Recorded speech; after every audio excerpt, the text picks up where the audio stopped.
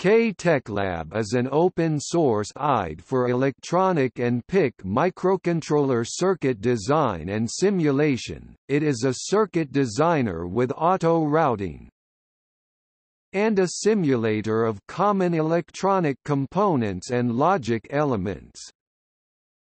KTechLab is licensed under the terms of the GNU GPL. Version 0.3.7 was released on March 11, 2009.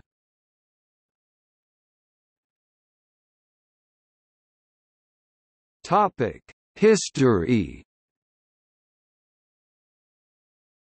KTechLab was first developed by David Saxton, who worked on it until 2007. The design ideas and a lot of the current code have been developed by him. He released various versions, up to version 0.3.6. When David Saxton stated that he wouldn't be able to continue developing the software, KTechLab stalled for a while before Julian Baum, Jason Lucas, Zoltan Padrah, Alan Grimes and several others continued his work, releasing version 0.3.7, with more components and bug fixes. Work on KTechLab continues, the main priority currently being porting to Qt4.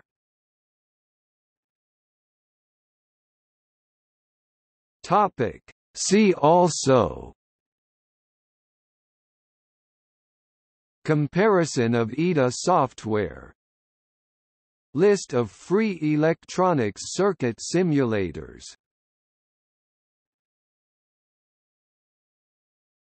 Topic: External links.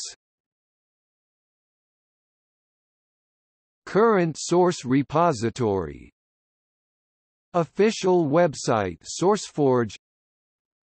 Website on GitHub. KTechLab Users Guide